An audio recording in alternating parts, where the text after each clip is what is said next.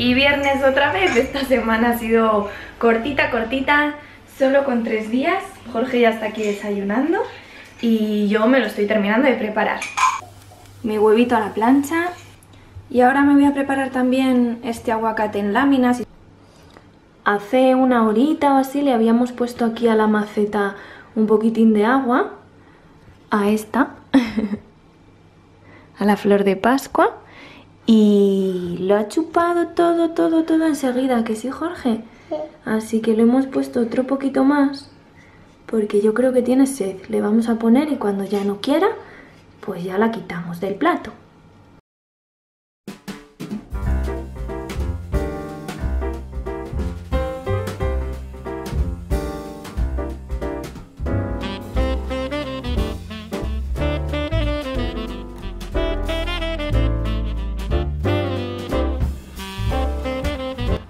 Ya ha chupado casi todo lo que le echamos. Esta plantita está sedienta, me parece a mí. Esta sudadera también empieza a quedarme ya cortita, cortita. Se me va subiendo cada vez más. Voy a empezar a preparar la comida. Voy a pelar estos tomates.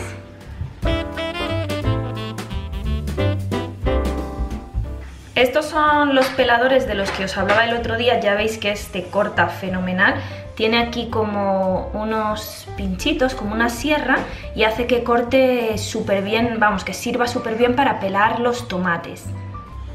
Este otro es el pelador normal, que la verdad que también corta fenomenal. No enfoca, pero bueno, este es el normal y corriente. Y este otro es el que os decía el otro día que no me apañé con él, que es el que tiene estas sierritas más grandes que el del tomate y este es para, mm, para lo que os digo, para cortar así como en juliana o hacer las típicas patatas paja. Ahí se ve bien, pero nada, yo con las zanahorias no, no, me apañé, no me funcionó nada bien y no creo que sea porque corte mal, porque ya os digo que los otros cortan genial, así que tiene que ser por la zanahoria, yo creo. Un día probaré con las patatas, a ver qué tal me sale.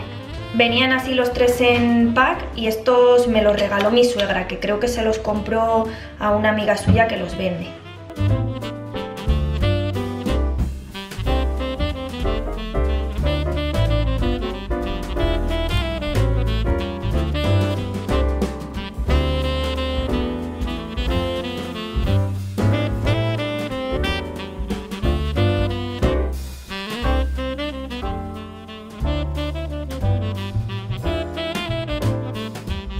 Ya tengo la berenjena bien lavada y ahora la voy a ir cortando.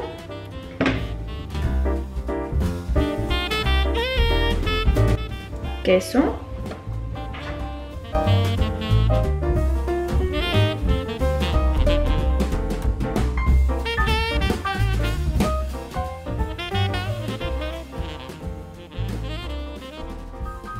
Ya solo queda poner quesito por encima que queda mejor si lo pones rayado, pero no me apetece y así va, en trocitos. ¿A que sí? trocitos. ¿Tú quieres echar trocitos, Toma? Este. Vale, a trocitos y los vamos poniendo aquí todos. Pan rallado. Eh, mm, Aceite de oliva. Y con un poquito de orégano espolvoreado por encima lo llevamos al horno.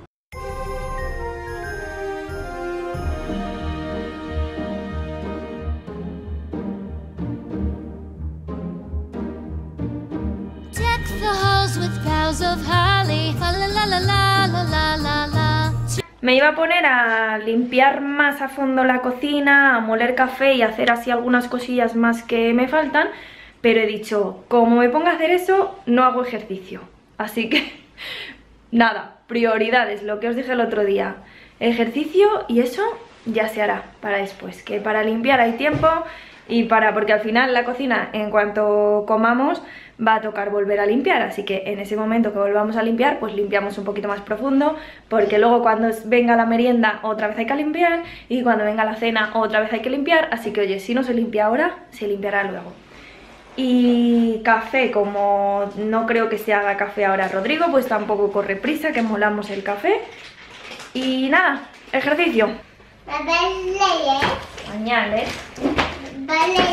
Qué bien lo dices. Sí.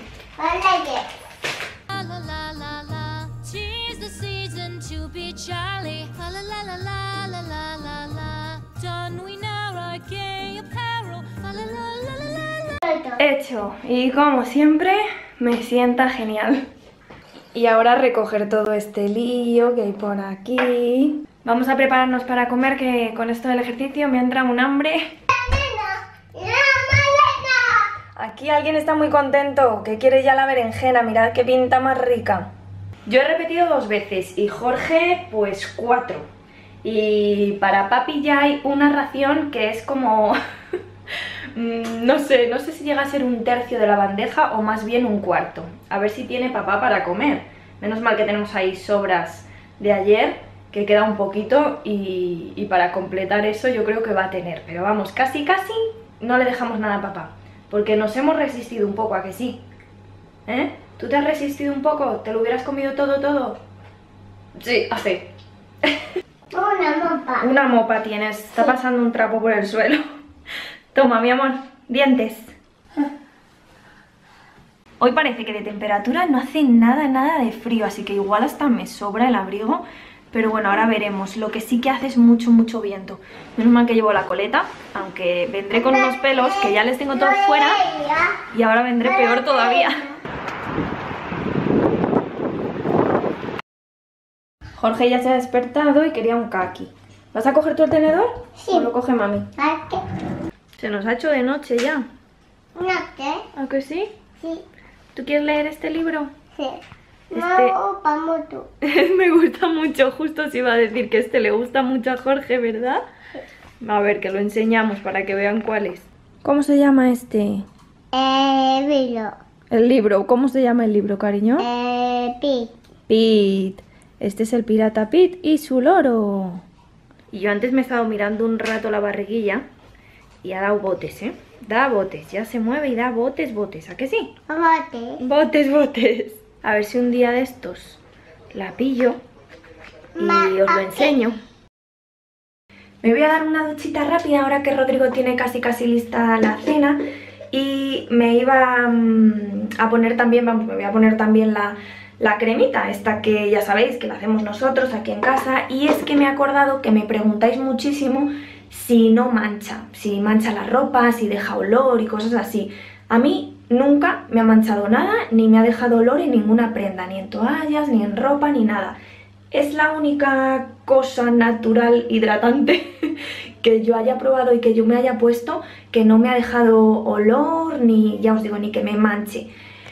Por ejemplo, cuando he usado aceite de almendras dulces y aceite de coco, eso sí, eso me ha dejado olor en las prendas de ropa, en las toallas. Además es un olor como a rancio que luego no se va nunca. Y en la ropa también. Pero esto, nada. Eso sí, yo lo que hago siempre es aplicármelo de noche. Siempre, siempre, siempre. Entonces al final la ropa que me pongo es el pijama, que tampoco me importaría tanto que se manchase o que quedase algún olor, pero vamos, no, que quedase algún olor sí me molestaría, pero a lo mejor alguna manchita así no me molestaría tanto, pero ya os digo que nada, yo no he notado nada de eso y en el rostro también me la aplico siempre, siempre de noche por si el sol de día pues nos pudiera mm, afectar en cuanto a alguna mancha o algo así, ¿no?